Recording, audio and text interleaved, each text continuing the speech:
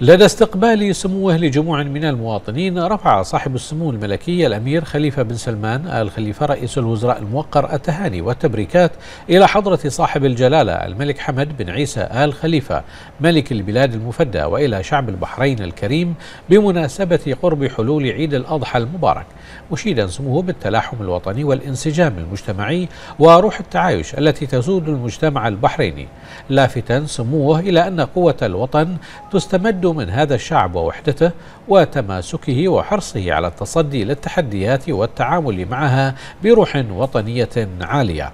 مشددا سموه على الاستمرار في متابعة كل ما يهم المواطنين والتواصل معهم بشكل مستمر لضمان أن يكون مسار التنفيذ في المشاريع والخدمات محققا لطموحات وتطلعات المواطنين. وقال سموه إن أبوابنا مفتوحة لأبنائنا وستظل كذلك. فنحن جميعا في هذا الوطن عائلة واحدة. يربط بيننا أقوى الصلات والتواصل بين أفراد العائلة واجب وضرورة لتقوية ركائز الترابط بينها بما يجعل الوحدة الوطنية محصنة ومنيعة لا تتأثر بأية تحديات. وأضاف سموه تعلمنا مما جرى حولنا من أحداث أن كل من يريد الشر لأي بلد فأول ما يستهدف تفريق أبناء الوطن وزرع الفتنة بينهم.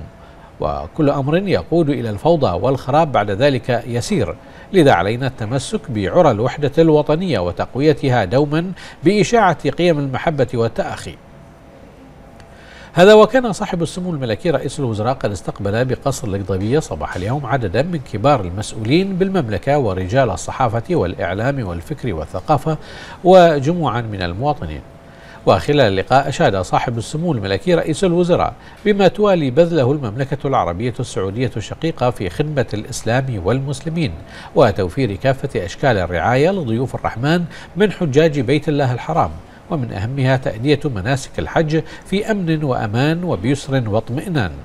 وأكد سموه أن المملكة العربية السعودية الشقيقة بقيادة خادم الحرمين الشريفين الملك سلمان بن عبد العزيز آل سعود عاهل المملكة العربية السعودية الشقيقة تقوم بجهود جبارة لصالح الإسلام والمسلمين فهي من جهة تدافع عن العروبة والشرعية وتعيد الأمل لمن دمرهم التدخل الخارجي.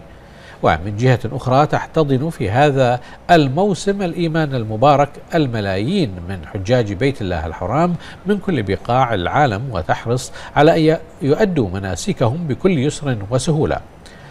ومن ينكر هذا الدور الكبير الذي تعجز عنه دول مجتمعة وتقوم به المملكة الشقيقة منفردة فهو جاحد وعليه مراجعة نفسه وموقفه.